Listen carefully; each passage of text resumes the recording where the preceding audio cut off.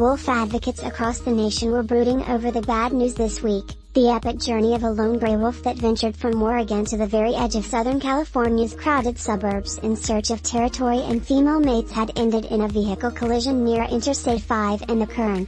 I only wish we could have offered him a safer world.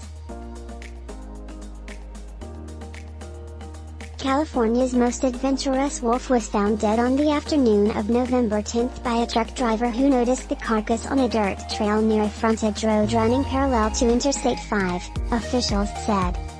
A state game warden collected the remains, which were transported to the Wildlife Health Laboratory in Rancho Cordova, California, where the necropsy was performed. A necropsy conducted on the carcass, which was found roughly 50 miles north of Los Angeles, determined that OR-93 had suffered significant tissue trauma to the left rear leg, a dislocated knee and soft tissue trauma to the abdomen, the California Department of Fish and Wildlife said Wednesday. The agency also said it determined the wolf died from trauma consistent with vehicle strike and does not suspect foul play. Pushed by an evolutionary gamble to pass off his genetic information to new generations of wolves in a region where they had not been seen for more than 200 years, OR-93's record-breaking travels in California had signaled the potential return of a predatory force that some conservationists hoped W but it also increased the odds that OR-93 would wander into trouble on highways, in suburbs or on ranchlands where he might be mistaken for an unusually large coyote and trapped and shot as a threat to livestock.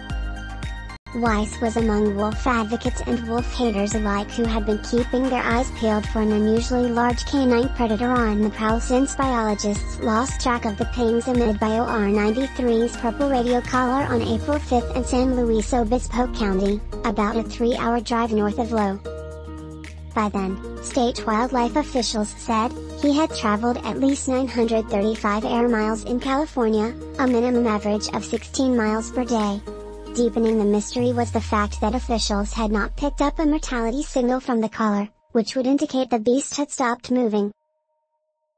Only a week ago, Weiss hiked across a swath of wilderness in the Los Padres National Forest near where a landowner's trail camera recorded video footage of a wolf near a water trough in May. I immersed myself in that landscape, searching for scat, tracks, any clues that OR-93 was still on the move. I didn't find any.